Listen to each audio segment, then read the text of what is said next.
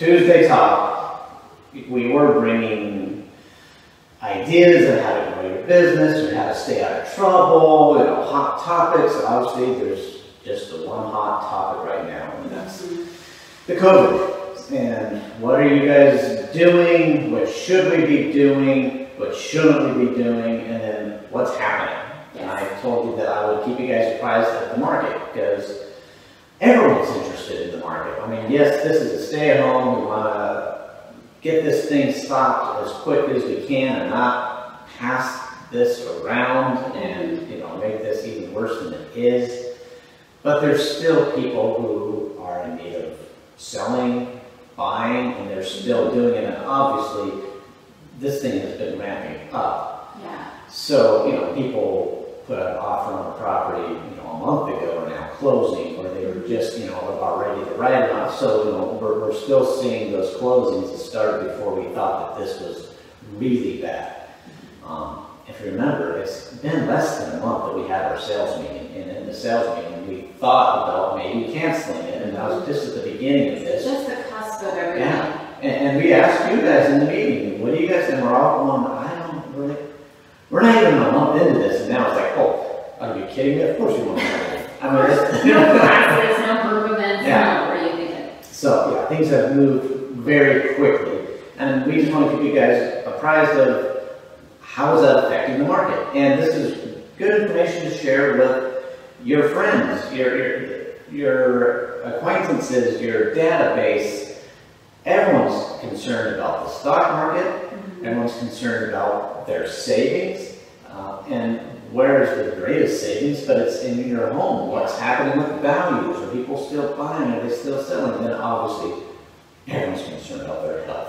Yes. Um, So we just want to keep you guys apprised and just let you know, I, I, again, I, I don't have any predictions. I, I, I do know that we had a crazy, great January and February. And we were going into this year, uh, guns a blazing, it was gonna be amazing. And then this happened, and I have no idea how it's gonna affect it. Um, if this does end in a month or two, there's a very good chance that it comes roaring back. If, so I, I don't know, I'm gonna say, we're just gonna keep you apprised of what's happening. Yeah, real time, what's happening, what the market stats are, so then you guys can share that with the people that are asking you, how's the housing market doing? And you don't have to say, well, I don't know. Right. Actually have the data to relate. And we were just gonna share just our company data, because that's easy for me to come up with, and then we figured out, oh, RE Colorado is a very easy way to do data too. And so uh, we stepped up a little bit. I'll, I'll share numbers quickly though, with just our, our office. So this isn't statewide, this is just our office. Um, January, February, and March is almost over. Um, we are at 234 closings so far this year. Last year, um, at the end of March, we had 195. So we're So we, we were, I mean, we're up 29 transactions, uh, and that, and that's a good amount, because this is usually, the first quarter is usually the slowest quarter. Um, so we were on track for just a- a- an amazing year, and we, I think we'll still have a great year. Um, this month, last year we sold or closed 88 transactions, we're at 78, and we've got today still, so I don't, I don't have the final month, uh, numbers. Yesterday we had seven closings. So we, we could still be on track, but we know we're going to see a drop off. And how do we know? Because we're looking at the RE Colorado numbers and these are, these are interesting, so. Yeah, so I will grab these, I made some notes, um, just so I can pass all of this information you guys. So I'm just gonna give you kind of round numbers, um, because if I start rattling off all these four-digit numbers, your eyes are gonna pop out of your head. But we are, Oh, go the ahead. flyer, so that, you don't have to write this down. You don't have to write this down. So we are compiling an email that will go out every single Tuesday following the Tuesday talk, and it has charts and graphs. And you probably saw the one come out last week, um, I think it hit like Thursday, because it took us a little while to get the template up. So now we have the template in place. Parker already made the graphs for me yesterday. I just need to write a little summary, and then it's gonna hit your email inbox with all of these numbers, the summary that I'm giving you, um, plus all of the charts and graphs, so. So, just listen, Just listen. take it in, and then we'll send you out the, the document. Exactly. So this is for a seven-day snapshot. We're doing Monday to Monday. So these numbers are Monday, March 23rd through yesterday, Monday, March 30th. So new listings that hit the market in that seven-day period, 1,300. 1,300 new listings hit the market, and this is in RE Colorado. This is not statewide. This is all the data in RE. The boundaries of RE Colorado. Uh, yes, the Yeah. boundaries of RE Because, Colorado. yeah, Katie Martin asked that last week. Where, Mhm. where is this at? This is, yeah, So to give you a feel of how that compares to this time last year, so last week, thirteen hundred units. Last week, a year ago, same time frame, eighteen hundred units. Hmm. So we're down about five hundred listings compared to the same time last year. So that was a twenty-eight percent decrease. right. Which could be market, mm-hmm. could be COVID, but, but it is what it is. But it is what it is. So we're gonna have a tight market as far as inventory. Yes, exactly, which makes it that much harder for your buyers because our inventory is gonna be significantly lower. So before you guys jump to conclusions on, oh my gosh, is this COVID driven, just to give you, um, some perspective, sales between two thousand seventeen and two thousand eighteen were down, or excuse me, listings were down eighteen percent.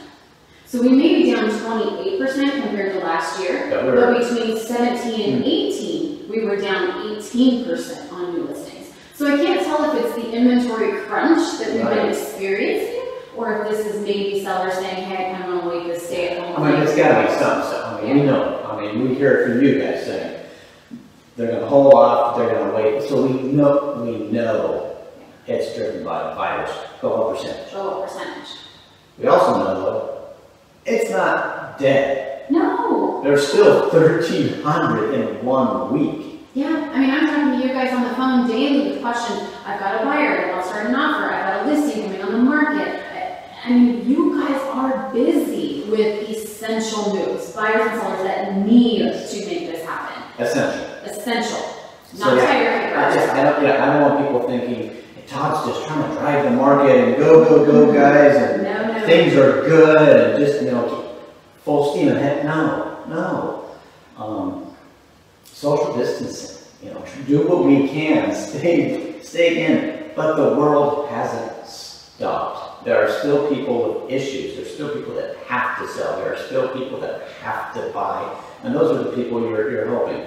Not, again, I mentioned this on our, uh, our uh, Zoom meeting the other day, um, our social, help those that are in need, but you're not trying to, you know, help somebody relocate here who's thinking of someday moving to Colorado and can show me the area.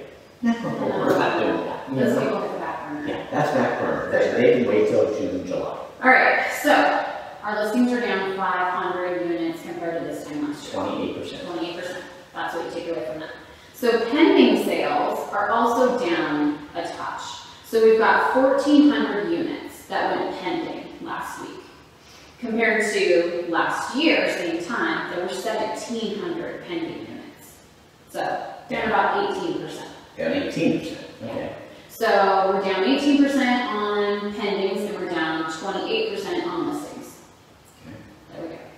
Closed transactions, because a lot of these buyers were already in their purchase agreement Right. before this all hit. So closings, um, we had fourteen hundred units closed in RE, Colorado last week compared to seventeen hundred units that closed last year, twenty-one hundred units that closed the year before. Wow. So we're actually down twenty percent from two thousand eighteen to two thousand nineteen, down nineteen percent Hmm. from this year compared to last year. So we've seen a decline in closings. But it's not the lack of buyers, it's the lack of listings. It's the lack We of don't have listings. any, we still don't have the inventory. Exactly, exactly. So, um, to give you some perspective on how the stay-at-home order affected the showings, um, I think you guys have all done a great job of embracing only critical buyers, only critical sellers, because showings are actually down sixty-three percent compared to this time last year.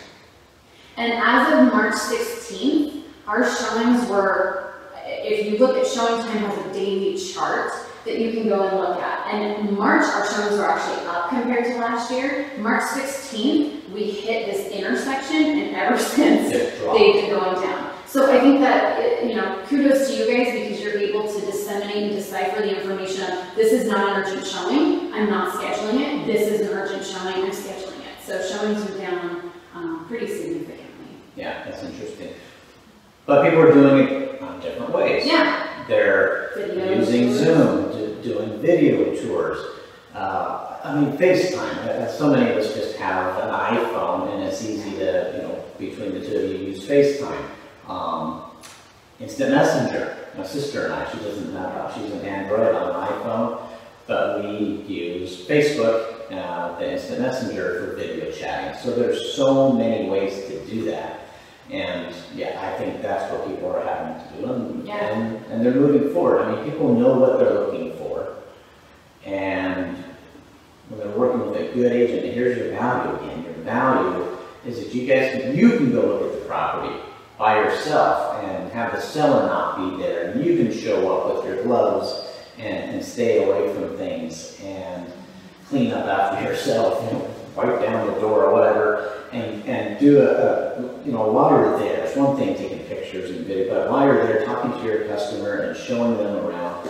And, and frankly, the, the place that we're in right now, Stacey and I did just recently buy this, and we were nervous. It was closing uh, a week and a half ago.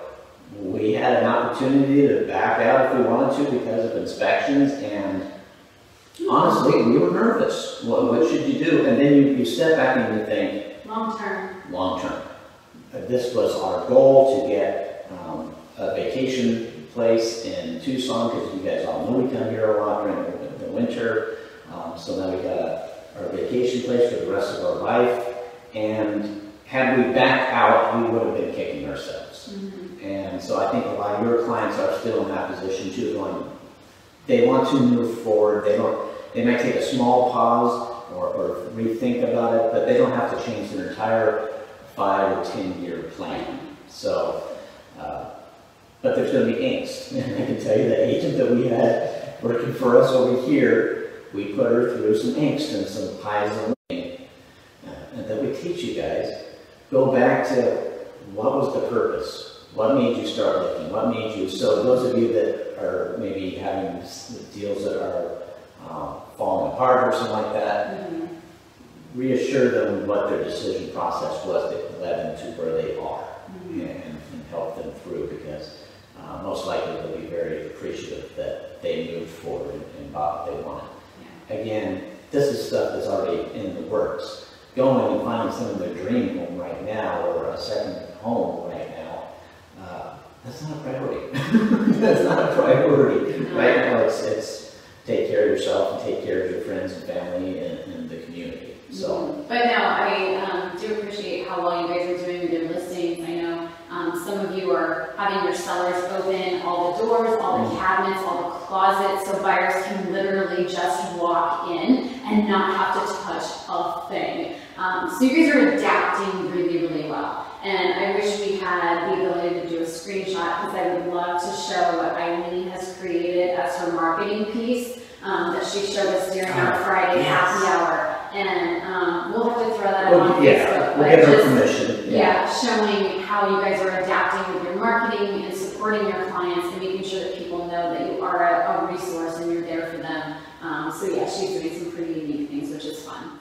So what do we do?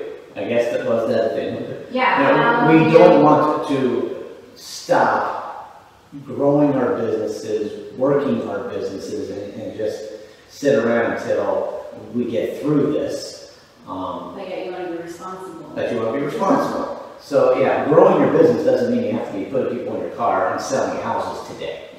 It doesn't mean you have to be listing today. But growing your business or building your business means putting things into place, being ready for the right time. And the right time will come soon, or then later. Yes. It, it might not feel like it right now, because I still think of ourselves being that was less than a month ago. I know. And it feels like that been... was only the 13th. That was like two weeks ago. And I feel like we've been riding this thing for like 45 days now. I'm like, oh my god. You, can see, we don't have a lot of patience as Americans, because, yeah, well, we're only two yeah. weeks so building your business does not mean you have to be selling houses today. No, It means preparing, it means, uh, we're, we're gonna post what Eileen put together. It- It's, what's your, what's your new strategy? What's your new value proposition and how are you going to promote that to your, your sphere of influence and show them that you're a trusted advisor? That's all we are always doing. Mhm. We're always trying to show that we're a trusted advisors, that we're the local market expert, and that we can help them get through tough times, tough strategies, tough transactions, and, and get them to the other side. So how can you step back and look at your current business and what you're doing, and just make little tweaks? We're not talking, you know, blow it up, what you're doing. So one thing I want to interject, I love Vicky Hofer. Um, she sent out to all of her sphere a vendor list.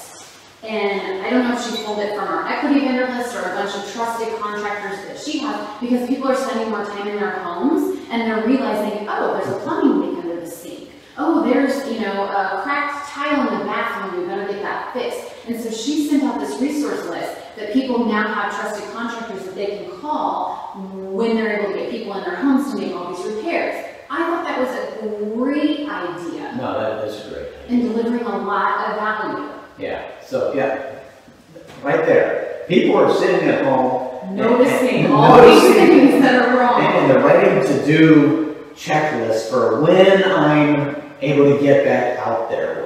And the Yeah. things that I want to have done. It'd be nice to get the landscaping done. Oh, honey, what would you do? Let's come, so yeah, a vendor list. Yeah, and you may be utilizing things in your house a little more right now because you are home twenty-four seven, and something might break, your water heater, your furnace, and so now you've got that list, um, right on your refrigerator from your handy dandy trusted realtor, uh, for those emergency repairs as well. So So, just a nice little. Take the vendor list off of the Facebook page that you guys are on right now. Mhm. go to file. Parker updates that thing all the time, so, you know, it, it- it's very current, you can either, either just use that or, Make your or own make your own branded, um, but great idea. So again, business building ideas. So when we're through this virus and people are chomping at the bit and want to get out there, you want to have been in front of them with useful information. What's going on in the market? It's okay, reassuring them, sending them a vendor list. And pick up the phone. I, I, I saw that on the news last night that Yeah, we're not texting as much, we're calling. And, and this is not the Brian Buffini, hey, do you know anyone who's thinking about, no. It's, hey, how are you? How are you? And, and, and just talking to people and it has nothing to do with real estate. This is just your friends and family and sphere and business associates. And, and frankly, call Parker, Mhm. call Paul. Call Paul. They're, they're at home. Uh, Uh, We all need that We all interaction, we all need that we're all struggling in our own way. Whether it be, I don't have a consistent routine, I'm not getting to see people face to face like I normally do, and so we're all in it together. yeah. So business building is reaching out to people. Yeah. That's it. Letting people know you're there Yeah, as a person. yeah, if they need a As a person. if they need someone to talk to, if they need a Zoom meeting, if they need a social, um, if they need adult interaction with someone other than their kids or their spouse, um, that's the kind of stuff you want to offer. Yeah, definitely. Um, so I didn't have any huge, oh, this is how we're gonna build our business or recover our business when we're through this. No, it was only about Make connections. make connections, Yeah, talk to people. don't hide. Yeah, don't hide. It'll make you feel better too. Yeah. To reach out to those people. You get off the phone and you're like, oh, I feel better. I Yeah. feel lighter. Definitely, definitely. Yeah, and I think, oh, go ahead. No, I, and I was just gonna say, when, if you do current transactions, there are easier ways to do them too. Um, We're overloaded with emails as you guys are, we're trying to keep you updated enough, but not overwhelmed. I mean, we got stuff from NAR and CAR and from this land title and stuff. Home inspection. I I think everyone knows that there's remote ways to do this. There's ways to close your transactions that are currently under, you know, contract without having to get together. We're figuring all that stuff out. So, um, Yeah, if you haven't figured it out, just, just give us a call. Um, us posting, reposting, and reposting, I, I, I think it's overwhelming. So I'm trying not to repost everybody's stuff out there, because, I mean, we all have plenty of time to sit at home and read our emails right now, so I don't need to do that again. Exactly. Um, so the other thing I was gonna hit on as far as business building is it's a great time, um, to take those CE classes, maybe take that negotiating class that you've been wanting to take. And you um, see this, a lot of those are free right now. Yeah. We posted that yesterday, please read our weekly update, there, that was a great weekly update yesterday, I might must say so. Just a lot of good information, but yeah, CE, sit at home and take some CE.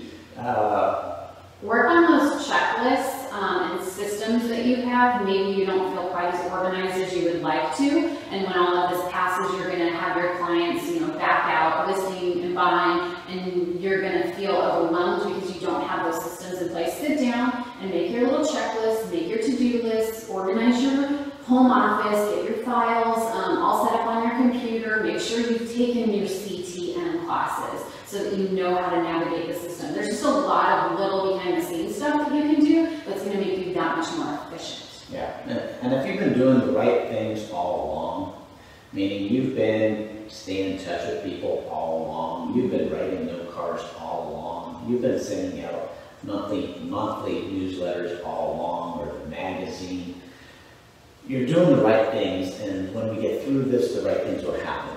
So, when you have a downtime, whether it's forced or unforced, forced right now, mm-hmm. take the downtime to, as Stacey says, just reorganize, kind of regroup, and not freak out about how we're gonna, you know, pay our bills in August or September. That will take care of itself if you've been doing the right things all along. There's gonna be a pause. Uh, Right now, we're at about a 28, 30 percent pause.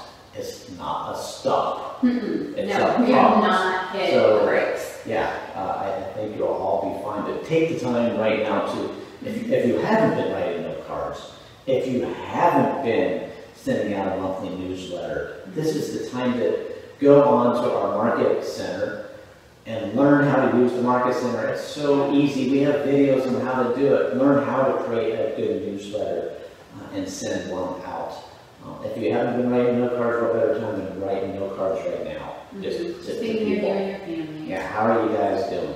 You know, how are you guys coping? Um, Our, our niece just got back from Australia. That was Mm-hmm. quite an ordeal, and she's now in quarantine for For 14 days. fourteen days, because she came from Australia. Yeah, so I mean, we need to write a note card. Yeah, well, and her back. family's struggling Yeah.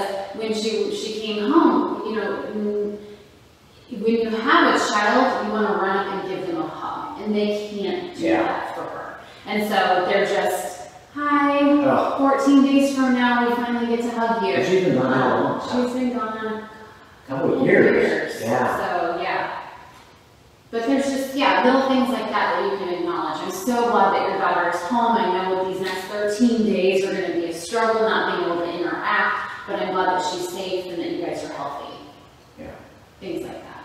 So it's, it's the perfect time. Uh, we have a forced downtime to get your business in order, to reorganize, rebrand, rethink your value proposition, reach out to those that you care about that you just haven't had time because you're always so busy. But we got lots of time now to just reach out and just say hi to people.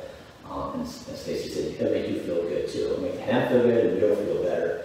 Um, The other thing that I started doing this week, is I've really been struggling with structure in an unstructured world. yes. And, um, and normally I print out my daily to-do list, which I've advocated for this darn today. And you've been to-do so good with that And for so I long. print it out, and every night I sit down and I write my to-dos, and I found I was putting too much on the list, what I used to put on my list, um, in normal times, I could get done. And now I'm filling up that to-do list, and I'm finding I'm paralyzed and I'm not getting anything accomplished. So instead of putting my three tasks here, three tasks here, three tasks here, I'm taking one thing, and I'm saying, this is the one business item I'm going to.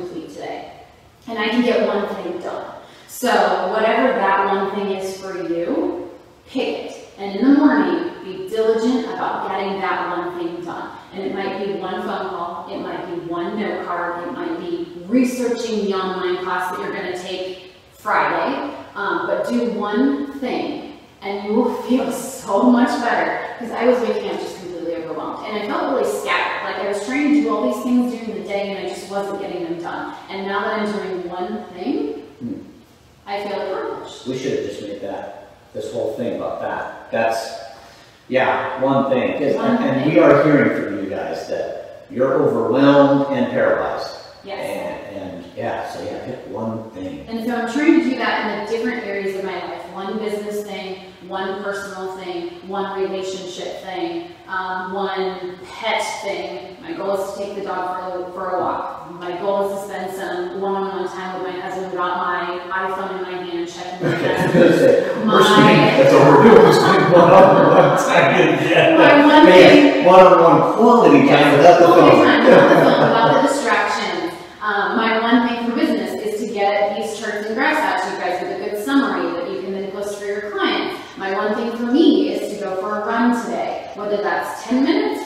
30 minutes, and so pick in all these different areas you're one.